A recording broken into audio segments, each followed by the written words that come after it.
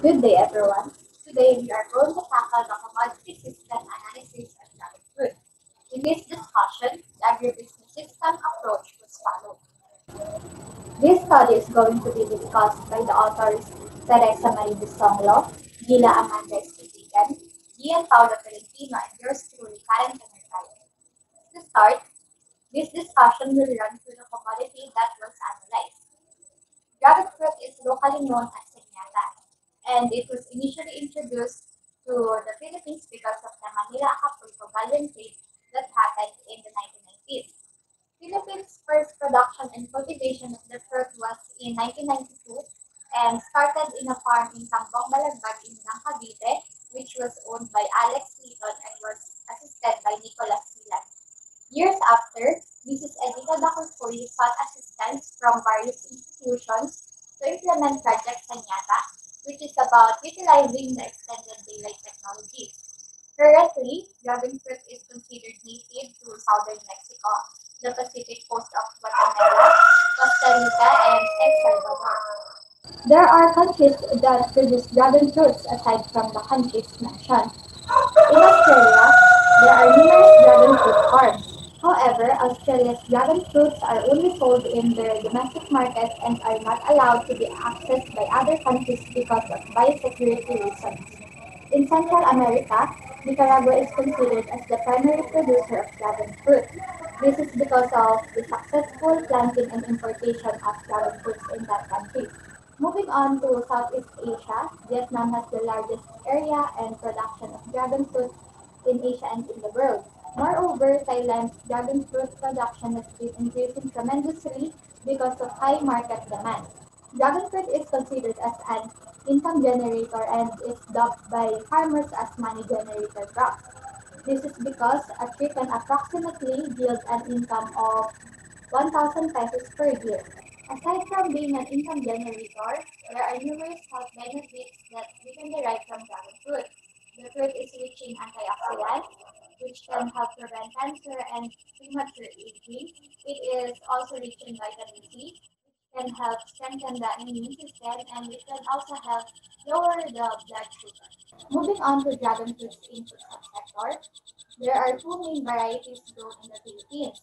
Hylocereus undatus is a variety that has white flesh. This is the most common one and is followed by Hylocereus costaricensis. The latter has a darker red flesh dragon fruit. The fruit is commonly grown in tropical and subtropical climates since it is a frost and chilling sensitive fruit. It also requires a temperature of 18 to 25 degrees Celsius with good relative humidity for its optimal growth. Aside from that, the fruit grows in a wide range of soils, from sandy loam to clay loam. However, it grows best in sandy soils that have good organic matter and internal drainage. According to a study conducted by Eusebio, the fruit requires great amount of application of organic fertilizers at the plant base and also inorganic fertilizers. Since dragon fruit is newly introduced crop species in the Philippines, there are few publications of fertilization per degree. To put into perspective, the cost of dragon fruit cultivation per acre in India, it would be 3 to 4 lakhs, which equivalent to 200,000 pesos. Essential inputs needed for dragon fruit production in the Philippines are mostly imported. These are sourced out from Vietnam, Taiwan, and Thailand. But in terms of planting equipment or material, these are available in the Philippines and are being used by different dragon fruit plantations in the country. For dragon fruit's farm sector, its production in the Philippines has been increasing since 2012. As of 2017, the country's total area of dragon fruits planted is 449.50 hectares and a total production of 1,462.51 megatons. And the fruit cost around 120 to 150 pesos per kilo in the Philippine local market. Dragon fruit can be cultivated through seed or stem cutting, but since it takes several years for the tree to produce a fruit, stem cuttings are the most common option used for cultivating dragon fruit. It is planted in the fields with direct exposure to the sunlight and thrives in a tropical climate country with the location with uniform distribution of rainfall throughout the year. Management practices are necessary for a productive yield of dragon fruit. These management practices include establishment of supporting structure for each dragon fruit post, such as trellises since it is a vine crop, application of fertilizer that has low nitrogen cactus fertilizer or granular 8 to 4 to 12 ratio of NPK fertilizer, which must be applied as early as 3 months of age, and also in every 2 months, and lastly, annual pruning. It helps in achieving the proper number of stems per post for a better and easier penetration of sunlight and air for dragon fruit. This will also serve as a preventive measure for farmers since decaying and disease on stems are inevitable. Manual handpicking is advised to prevent damage to the fruit. It is also encouraged that the harvesting crew must wear leather gloves and long sleeve shirts when harvesting thorny varieties. Shown in your screens are the pictures of cultural management practices for dragon fruit. Since stem cuttings are the most favorable propagation method for dragon fruit, mass propagation of stem cuttings is one of the development projects made by the Bureau of Agricultural Research in the Philippines. Dragon fruits are mainly consumed fresh. Aside from that, there are products that can be derived from dragon fruit. They can be in the form of dessert, juice, wine, ice cream ingredient, yogurt, jelly, preserves, marmalade, candy, pastries, and even its flower bud can be cooked as a vegetable. Shown here in the table are developed products by Mrs. Edita Dacuycuy, the owner of REFMAD Farm. Aside from being edible, dragon fruits can also be made into a cosmetic product such as creams, lotions, and moisturizers.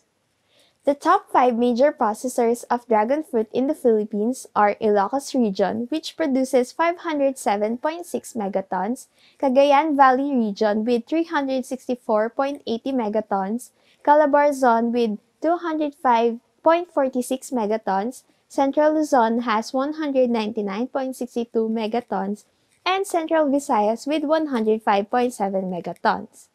Even though dragon fruit production in the Philippines is in its early stages, the volume and value of the commodity have continued to increase yearly. Shown in the table is the significant increase from 2012 to 2017. Let's now take a look at the marketing sector. For the marketing channel, the harvested fruits are delivered to retailers, processors, and wholesalers. The wholesalers get big volumes of dragon fruit directly from the farm that will be delivered to trading posts and supermarkets. Meanwhile, in Thailand, the role of local traders and fruit collectors in the distribution pathway are important because they are in charge of setting the price from farm to consumer. Moving forward, dragon fruits are mostly marketed through local markets or fruit stands. It can also be marketed in online selling, peddling, and special distribution or delivery lines. Certain dragon fruit products that are developed by both public and private institutions ranges from patented goods to cooking recipes made from dragon fruit. And the usual target place of delivering this crop by middlemen is in Manila, Baguio, Cebu, and Davao. The range of farm gate price for direct buying of dragon fruit is 50 to 80 pesos per kilo, which will then be sold by the retailers at a price of 120 to 180 pesos per kilo. The activities for promotion and commercialization of dragon fruit by provision of planting materials is conducted by Kailukoan Sanyata Producers Cooperative. Furthermore, the high price trend of this crop that ranges from 120 to 150 pesos makes it as a new money-making crop with a promising capability of yielding high profit. As presented in this figure, it shows the situation of demand and supply for dragon fruit. In terms of market size, South Asia, Africa, and South America are the regions with high demand. China is the leading country to be the largest consumer of dragon fruit in Asia and in the world. In terms of supply, the major dragon fruit suppliers of the world are Vietnam, Thailand, and Taiwan. Vietnam continues to be the leading producer and exporter of dragon fruit in the whole world. In fact, the country has the highest share in Asia, Europe, and the United States. Let us now move forward to the support subsector. The continuing growth in dragon fruit production will not be possible without the help of universities that conduct researches, government agencies that aid in technical support, and other organizations that aid in promotion and commercialization of the commodity. These notable universities are Cavite State University, Mariano Marcos State University, and UPLB's Post-Harvest Horticulture Training and Research Center. Also, the help of the Department of Science and Technology, Department of Agriculture, CASA Co-op, and the Philippine Dragon Fruit Growers and Processors National Council are significant in the industry. Through the years, development programs and projects regarding dragon fruit production were done. In 2003, Agribusiness Development Project was administered with the aim of enhancing and sharing the production technology of dragon fruit, propagating seedlings for distribution to other interested growers, and establishing the value of the crop. While in 2011, Project Sanyata was conducted with the goal of producing dragon fruit at any time of the year through the initiated extended daylight technology. As the industry steadily grows, projects like these are continuously developed. In terms of productivity enhancement, concerns in planting materials, nutrition, post-harvest, and pest management were raised together with strategies that might help the further development of the industry. For the post-harvest management, research on shelf life extension of dragon fruits using different approaches can help minimize the loss during this stage. And lastly, Regular monitoring of crops and validation of available technologies will help in the development of an integrated pest management approach. Investment priorities such as promotion campaigns were aimed to be solved by establishment of industry websites for investment promotion and publication of opportunities and benefits in dragon fruit investment. While land banking or profiling was to be tackled by conducting regular land banking activities to identify process or profile the potential production areas. Concerns in other agro-services are focused on the fact that areas reached by financing institutions and cooperatives are still small and have slow dissemination of information regarding the improved techniques, knowledge, and technologies of the industry. Let us now discuss the integrated analysis. First, the input sector. The strengths of this subsystem include availability of planting materials and Philippines' favorable climate, the weaknesses include the lack of publications about dragon fruit fertilization, and sources of inputs are mainly dependent on imports from other Southeast Asian countries. There's a huge opportunity in the input sector because of high yielding varieties of dragon fruit that can be produced by technical development and advancement of QAP and GAP. Although threats like inferiority of available varieties in the country and high cost of initial investments leads to major bottleneck in venturing in this industry. In the farm sector, strengths include favorable climate and soil condition. Yield of dragon fruit continues to increase, high potential of systems and cultural management, adaptation of production technologies from neighboring countries. Although the weakness in the subsystem is the high initial investment needed to start a dragon fruit farm. But opportunities can still be seen in this sector, like the edge it obtained in competitiveness in mass propagation in the entire Ilocos region, Cavite, Davao, and Bukidnon. Threats are still present, like the lack of proper management practices of the farmers in the, in the industry, leading to low yield of the crop. The strength in the processing sector is the capability to produce a variety of products derived from dragon fruit, such as food, drink, and hygiene products. Although weaknesses of this sector are still visible, like the fact that high investment costs in dragon fruit processing systems is needed, together with the technological disadvantages, and lack of technical skills and knowledge of farmers. But opportunities present itself such as a lot of institutions supporting the innovation of dragon fruit products can be seen. Although threats in this sector include the inconsistent climate and unforeseen calamities in the Philippines.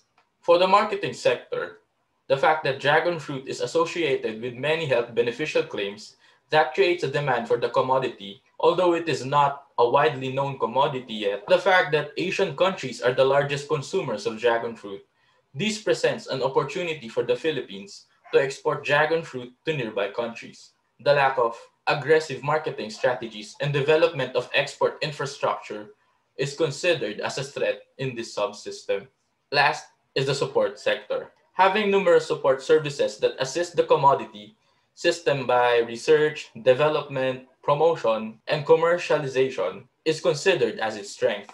But these support systems are still not enough to make dragon fruit a mainstream crop. Hence, the collaboration of this sector with LGUs and other government institutions is seen as a vital opportunity. Next is the conclusions and recommendations. It is concluded that despite the continuous growth of the dragon fruit industry in the Philippines, it is still at its early stages, resulting in a relatively low total production. Also, there is still a long way to go when it comes to the exportation. Furthermore, the blocking factor in the progress of this industry might be traced back to the inadequate support from Philippine government, high investment cost, and lack of planning and technical knowledge of the farmers. That's why this analysis recommends the adaptation of practices made by the leading producer of dragon fruit, which is Vietnam.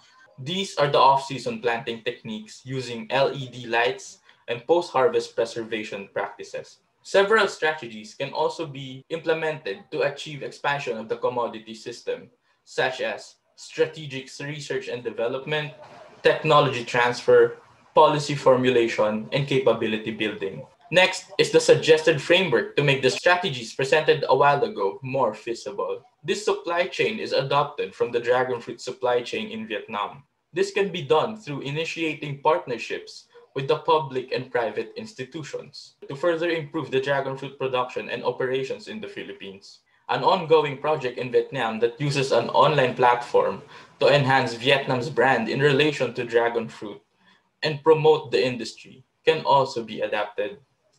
Doing this will empower micro, small, and medium enterprises, as well as provide consumers with valuable and sufficient information of the farm to plate pathway. This will allow supply chain participants to receive a greater insight into their business performance as well. The dragon fruit industry in the Philippines can follow the footsteps of Vietnam by implementing this project for a more structured system in the industry and a sustainable future of the commodity in the country. That being said, it is an honor for our group to share with you the Commodity System Analysis Report on Dragon Fruit. We look forward to the time when this crop will be successfully produced in our country. With that, thank you for listening and have a good day.